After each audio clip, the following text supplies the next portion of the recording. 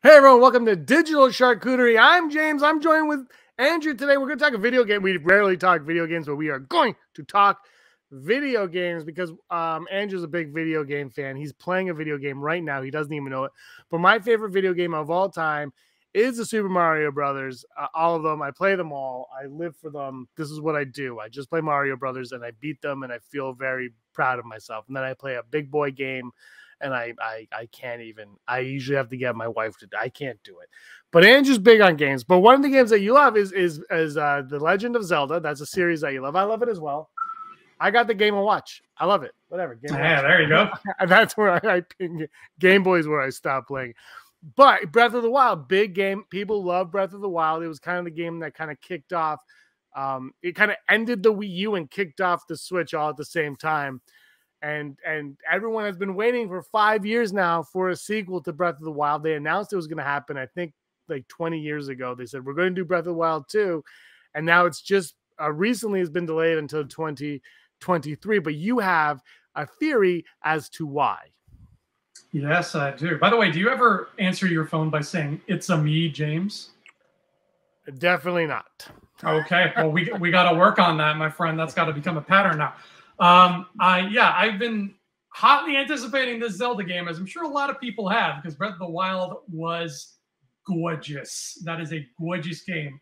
And then they're like, "Oh yeah, you're getting one this year." I'm excited. Everybody's excited, and all of a sudden, with no explanation at all, actually, you're getting it next year. Sorry, and then that's it. So when pressed for explanation, Nintendo just offered kind of the sound of crickets as an answer. But here's my theory. And I kind of hope it's true because it would be good news for everybody, right?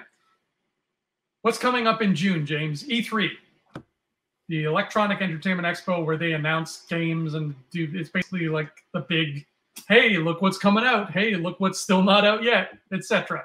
It's that for games. Uh, and conversely, guess what's coming out six months after that in December? The Mario movie. Can't wait the Mario movie. We're finally getting uh, uh, another Mario movie that uh, is apparently going to be much more Mario than the last Mario movie. Now, it has been. Yeah, yeah, it's a blast, according to. I box. love this. I love this Mario movie. John Leguizamo, perfect. I wish he was in the new movie. I wish I he wish, was too, man. I would. I think that is. I honestly look, Andrew. I'm sorry to cut you off, but I am looking forward to the new Mario movie but I think it is like he is like one of the only living cast members of this film left. I think it is a sin that he is not a part of this, like an absolute sin yeah. that he doesn't. He better have a damn cameo in it. Like they better throw him in without our knowledge. I do appreciate that they have. I can't remember his name. Is it Charlie who does the voice of Mario since uh, Super Mario 64? I appreciate that he's in it doing various voices. I understand why he's not the voice of Mario, and I have nothing against that. But John Leguizamo, like he has to live with this every day. I know. You, like, and we live in a world where they just gave Tobey Maguire and Andrew Garfield, you know, Michael Keaton. Like we live in a forgiving world now where you bring them back. I think anyway, that's my beef. Is Leguizamo needs some love. He should be in this Mario movie as a cameo in some capacity. What a beautiful world it would have been if he had been playing Mario. Just like to honor, like he's like, I'm going to honor Bob's memory and I'm going to play Mario. Uh, just, but and, anyway, um, it has been I, I, don't know what came out first breath of the wild or mario odyssey but they have both been way too long ago is the moral of the story here. Yeah. It's been too long since the last zelda and it's been too long since the last mario. So my theory is this. Your initial plan is we release a zelda game this holiday but oh there's a mario movie coming out this holiday. So what if james nintendo decided we've been working on this next mario game let's delay Zelda a bit and fast track this Mario game so we have, you know, cross pollination. We we advertise the right way, which is multimedia style. We have the Mario movie, and oh, what's this? A Mario game, and the kids get one and they want the other. It's like you can't make it any simpler than that. So I think James, because of this motion picture from Illumination Studios, we are getting a new Mario game in December why am I wrong? oh my god, you're so wrong. I look, I absolutely would love that because, like I said, I'm a huge Mario game. I have the, the Zelda game watch, but I also have the Mario one. I play Mario Brothers all the time. I have my Switch, and to be honest, I go on my Switch and I usually go on my catalogs and I play older uh, Mario games. I have I play more Mario games on Wii U because there are more, and I think this is the problem. Nintendo.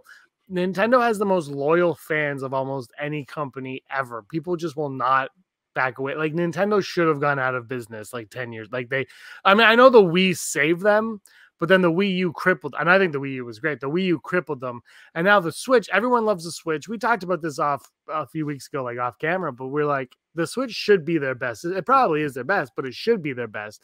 The problem is they're relying on old, like they're relying on Wii U games to kind of for their bread and butter of Super Mario Brother and and not so much Zelda, but even Zelda Breath of the Wild was on both. They're really relying on that they haven't given us much new stuff. They're like Splatoon 12. Like, I don't really care about Splatoon. There hasn't been a whole ton. We got Luigi's Mansion 3, sure. But the problem is they just they they don't need to make a new Mario game because for some reason everyone's content with another add-on to Mario Kart. Like Mario Kart 8, they're bragging is the highest grossing Mario Kart game of all time. Yeah, it's been on seven consoles, and there's an add-on to like every day I have to buy a new version of like it. It's frustrating to me that they're doing that. They don't need to because uh, they have the most loyal fans, so they keep doing it over and over again. It's ridiculous. I think you know Mario Kart 8 was great. I love Mario Kart 8. I'm not saying it's not, but I played it. I had it on the Wii U. I got the expansion pack on the Wii U. Now I ended up getting it again on the Switch just cuz and I'm like, God damn it, this is the same game. Like, there's nothing new. I think there's an extra Splatoon character from the Wii. Like, and, I again, I don't care about Splatoon. That's not me. That's out of my. And I and that look, I'm not arguing that it's my, not my demographic. Whatever. I'm old. I get it. But they don't need to do it. And they're doing Breath of the Wild. They're taking their time, which I hope means it's going to be better. But I just don't think they care about making another Super Mario Brother game. Even though, honestly, all they have to do is like is is rebrand Mario like 3D World or Mario Brothers Deluxe. I can't see Mario Brothers Deluxe costing a lot of money for them to make.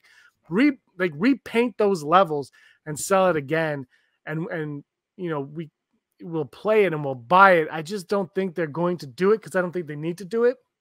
And we talked about this again. It's been out for five years. That's five years for this console, five or six years for the for the Nintendo Switch console. It's ending like its run will end before we get before they announce anything. Like it's coming to a close almost. And the switch pro switch 2 i mean they have the switch oled i guess.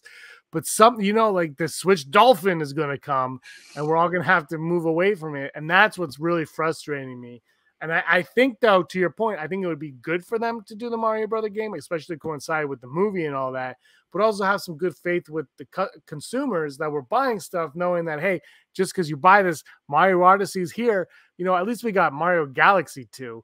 But this is reminding me too much of the N64, which they were like, no, we're good. We're good. We got you a Mario 64 and we got you one Zelda game. You're good. You're good. Goodbye. Play this crappy Bomberman game. Like that's where I mean, we got more than one Zelda game for that. I, so it's the parallels between this one and the Switch and the the parallels between the Switch and the N64 are a little too much. And the N64 is fine, but it didn't have for me the greatest library. GoldenEye, I know GoldenEye, I get it.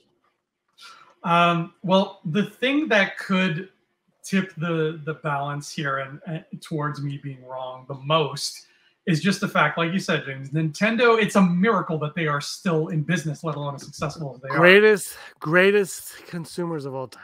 It's a miracle because they they're like the opposite of Kevin Feige. Uh, they listen to what the fans want. The fans are like, "Here is what we want. Here is X. We want X," and Nintendo's like, "Okay, here's Y." But that is exact every time.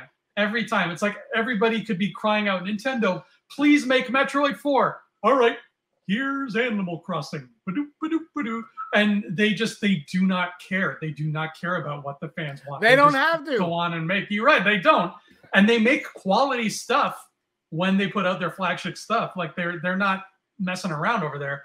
So it's it's a weird system that they have going on there. And I'm flabbergasted it's lasted this long without them listening. They just do not listen to fans at all.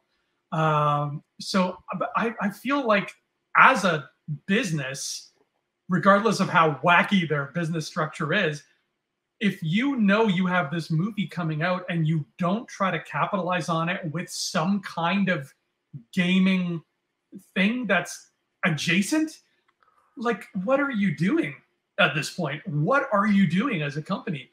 So the fact that this announcement of Zelda getting delayed came out when it did, and E3 is slowly but surely creeping up. It's like a month and a half away, less than that. I feel like that's a perfect time, as perfect time as they're going to get to say, hey, you got this Mario movie coming out in six months. Well, guess what? We're announcing this game to go with it. Because Nintendo does that a lot. Nintendo will, yes, they announced Zelda a long time ago, but Nintendo is also really, really sneaky in regards to they'll be like, here's this Kirby game we've been making. Isn't this great? It is out now. And like you're just finding out about it. And it's like you can go online yeah, yeah. now and buy it. So it's not outside the realm of possibility for them to be have this hidden game that they've been working on and then say, well, in six months' time, I know you've never heard of it before, but get ready for Super Mario Moonshine. And it's like sunshine, but everybody's a vampire. I, I don't know. Uh, I, look, I'm in for it. I just don't think it's going to happen. And I'm sorry that you don't feel that way. I nobody wants another Mario game more than I do. Uh, when my wife was in the hospital for a week and I stayed there, all I played was my I had my Switch with me while she was knocked out on on you know and I just had my Switch. And you know what I played on the Switch? The NES and SNES Virtual Console. That's what I mostly. Play. I had Odyssey, but also you know sometimes in different environments you can't really focus on what you need to focus on. Those, so I'm all in for more of it. Um, I also got Sonic Team Racing that uh, for that time. What time was that? uh, anyway, let's know what you guys think in the comments below. Are we going to get a Mario game to coincide with the release of the Super Mario Brother movie coming this December. I can't wait uh, to find out the answer because if Andrew's wrong, he owes me a Big Mac. Tell you what, I will buy you a copy of Side Scroller, and then you can pay me back for it. I have uh, a copy. Yes, you do. That's right. Uh, and if uh, if anybody out there, I mean, if you're watching this, you're probably a Mario fan and probably a game fan. So if you like that kind of stuff, my book side scroller is full of that kind of stuff there's easter eggs to all kinds of gaming things it is a, a, a video game uh, it's not about video games but it's it runs on video game logic uh, so you can buy a copy of my book side scroller right now on amazon and you can get the ebook if you don't like carrying bricks of paper around with you but if you're a game fan which i hope you are if you clicked on this video do yourself a favor trust me it's actually yeah actually i absolutely i i I endorse what he just said. Pick up Side Scroll on Amazon right now. Check him out on YouTube. Andrew Fantasia's YouTube channel, youtube.com slash Andrew Fantasia. And once again, let us know in the comments down below. Give us a like and a subscribe. And until next time, may you be the master of your own universe in the Mushroom Kingdom. Yahoo!